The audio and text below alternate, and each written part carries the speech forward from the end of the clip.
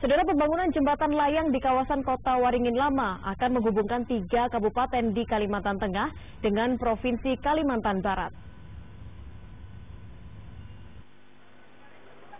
Kerusakan surat suara yang ditemukan oleh KPU Kabupaten Barito Selatan ini diketahui setelah melakukan proses sortir dan pelipatan surat suara yang dilakukan sejak tanggal 14 Maret lalu.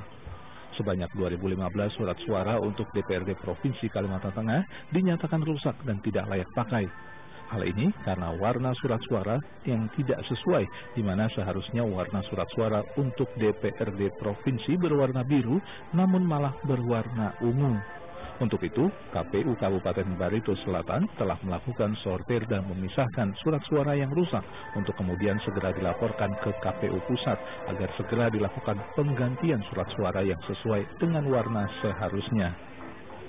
Jadi uh, seperti yang kita ketahui, uh, penyortiran surat suara ini telah dilakukan pada uh, mulai dari hari Kamis tanggal 14 Maret 2019 yang lalu uh, dan uh, sampai sekarang ini masih berjalan uh, pelipatan surat suaranya.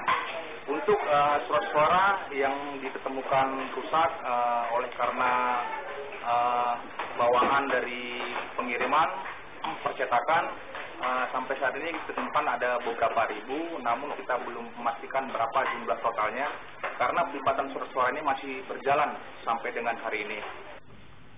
Kegiatan pelaksanaan lipat, hitung, dan sortir surat suara sudah diatur dalam petunjuk teknis nomor 1226 tahun 2018 oleh KPU RI, di mana apabila surat suara sobek atau warna tidak sesuai, pihak penyelenggara pemilu bisa melaporkannya ke KPU RI untuk dilakukan penggantian surat suara.